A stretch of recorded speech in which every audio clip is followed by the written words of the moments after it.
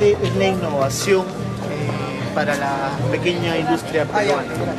Bueno, yo creo que la innovación es uno de los temas más importantes que las pequeñas y, empresas en general eh, deban asumir, porque hoy las empresas nuestras ya no son empresas del Perú, son empresas globales. Y cuando hablamos de empresas globales, eh, recibimos mercaderías, productos y competidores de todas partes del mundo, entonces ya nosotros tenemos que ser mejores que ellos. Somos campeones en emprendimiento, somos, ¿cómo estamos en el nivel de innovación? ¿Estamos innovando? ¿Cómo evaluaría la situación eh, actualmente? Somos muy emprendedores, pero muchas veces eh, solo hacemos eh, una copia del líder.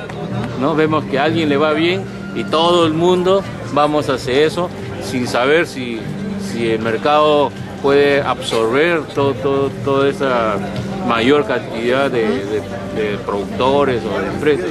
Entonces, eh, no, no manejamos mucho el tema de innovación, de investigación, porque nos gusta copiar de lo exitoso. Tanto eh, sucede en la agricultura, tanto sucede en, la industria y hasta en el comercio. Pero ¿cómo pedirle a una, pequeña empresa que, difícilmente consigue financiamiento para el día a día, para el capital de trabajo, aventurarse a invertir, por ejemplo, en una nueva maquinaria, adquirir una nueva tecnología? ¿Qué tan difícil es innovar acá en el Perú?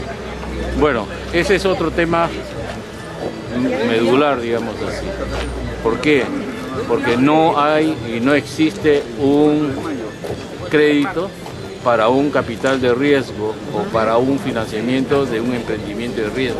Riesgo le llamamos no, no porque no me van a pagar, riesgo porque le llamamos porque son, son temas eh, que va a recién ingresar a un mercado o, un producto que nosotros eh, investigamos y, tenemos una fe en el producto, pero el banco o las instituciones bancarias eh, no lo evalúa desde ese punto de vista.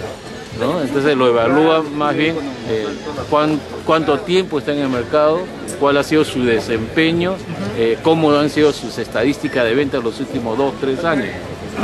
Pero si uno dice, tengo una buena idea y lo pongo al mercado, todo el mundo dice, ya pues esperemos si dura dos años o no.